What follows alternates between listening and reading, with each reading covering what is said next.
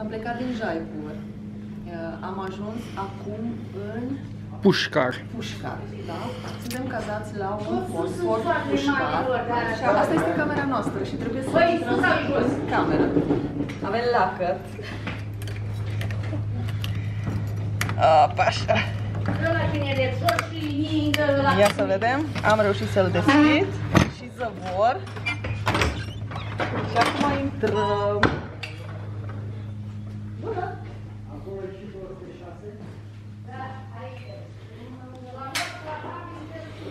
Și miroase frumos, aveți șare parfumate. Mamă, ce mișto arată baia. Ce mișto arată baia. Arată mișto baia și în baia avem și un dulap foarte vechi, care arată foarte, foarte frumos. Și arată totul... Wow! Wow! Haideți să vă arăt ceva. Ia uitați. Pat la fereastră. Dacă mă super acolo dormi din seară. Bine, grădina aici, în spate, nu este wow, dar măcar te poți relaxa. Haideți să vă mai arăt și ieșirea. Cam așa arată. Ieșirea. Ieșim direct în piscină.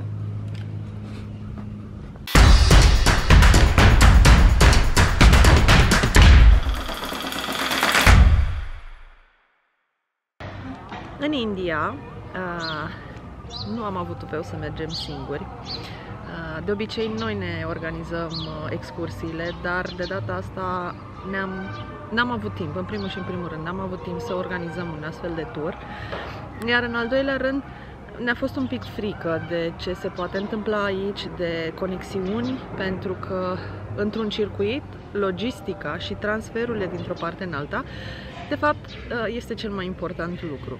Și ca atare, având experiența lui Costin de acum 10 ani din India, ne-am dat seama că nu avem suficient timp în două săptămâni să vedem atât de multe lucruri dacă nu apelăm la o agenție. Așa că prietena noastră de la Nefertiti, Iuliana, a venit cu ideea să uh, luăm un circuit de la Carpaten. Este vorba de circuitul pe India de nord.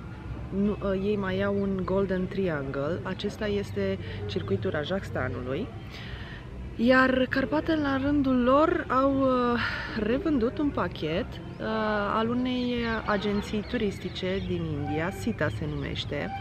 Sunt tare curioasă, uh, n-am reușit până acum să intru pe, pe site-ul lor, dar uh, în curând, când voi avea ocazie, o să intru să văd exact ce alte oferte au. Ideea este că aici noi am avut doi ghizi, unul din partea Carpatan, din partea României și unul din partea uh, indiană, din partea agenției din, din India, care amândoi ne-au, uh, ne-au povestit aproape non-stop despre toate aspectele Indiei în circuitul uh, acesta. În momentul de față suntem aproape la jumătatea turului și pot să spun că, deși în mod normal uh, noi preferăm să mergem pe cont pro- propriu pentru că ne plac experiențele, ne, ne place să avem contactul acesta cu localnicii. Chiar am fost surprinși că turul ăsta a fost, chiar a fost mișto. A avut foarte multe lucruri în general care nu sunt băgate în circuitele turistice, n-a fost turistic. Bineînțeles că am atins anumite obiective de neratat, cum ar fi Taj Mahalul, dar am avut contact și cu oamenii din sat și uh, chiar ai putut uh, să simți uh, tot ce înseamnă viața satului, tot ce înseamnă legătura aceasta și anume experiențe pe care le poți vedea doar pe cont propriu. De exemplu, cum a fost ieri când am uh, mers în satul acela netradițional, în Carauli, am mers cu carurile trase de cămile prin sat și am văzut exact cum trăiesc oamenii ăia și ce mănâncă și cum este atmosfera la ei. Deci,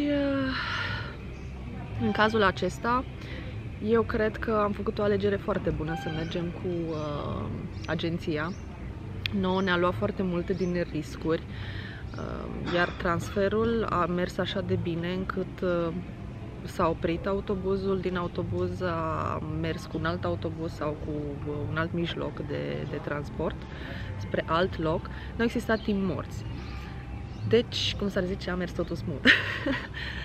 da, suntem foarte, suntem foarte mulțumiți și chiar, chiar recomandăm, cel puțin turul ăsta în India, pentru că India oricum este un picuț mai uh, înfiorătoare și când te gândești la India te gândești ok, mizerie, ok, stai ce o să se întâmple pe acolo, boli, nu, am fost surprinși, tot a fost foarte, foarte ok.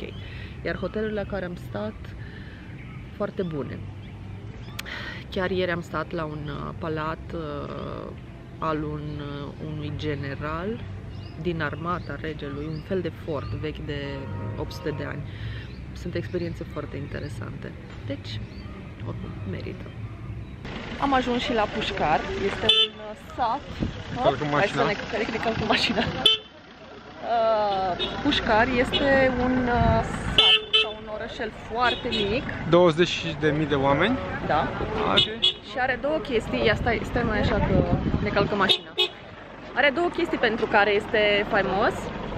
Anume, un... lacul și templul lui Brahma. Este singurul loc ah, din uh, India unde Brahma este adorat.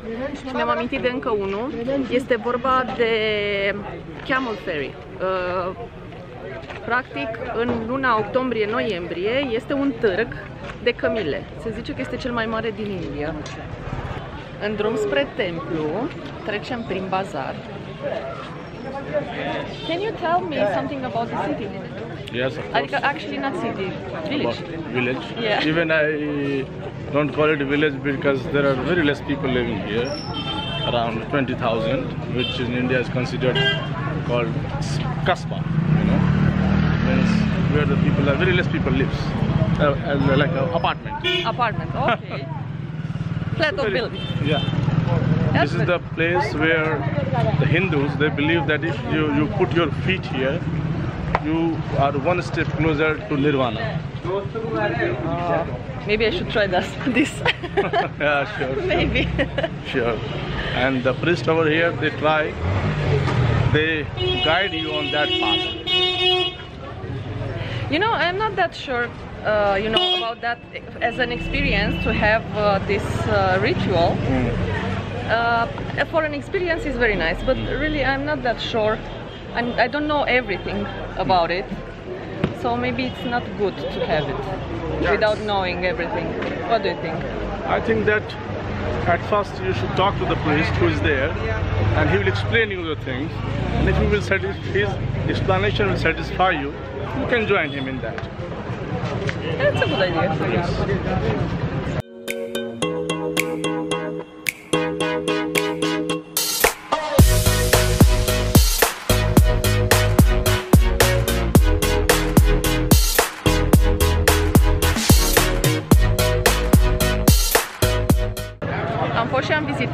Templul lui Brahma. Uh, este singurul templu din India, din câte am înțeles. N-am avut voie să filmăm sau să pozăm. Uh, tocmai de asta am reușit să facem o singură, o singură poză în fața templului. Este un templu foarte micuț. Mi s-a spus că practic nu templul este important, ci lacul Pușcar care este sfânt. Acum o să mergem spre lac.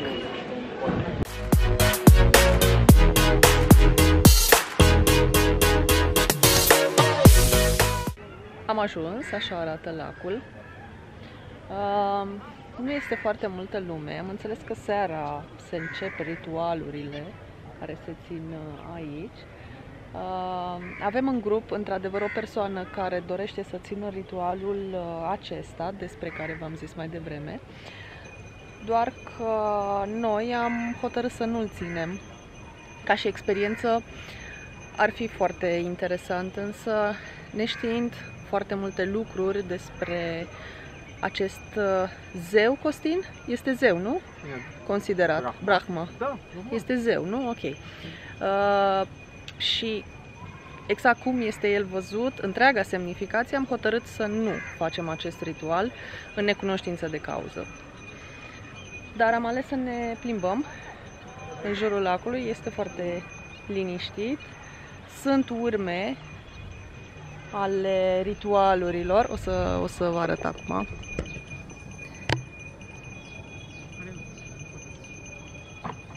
Și mai este acolo sus.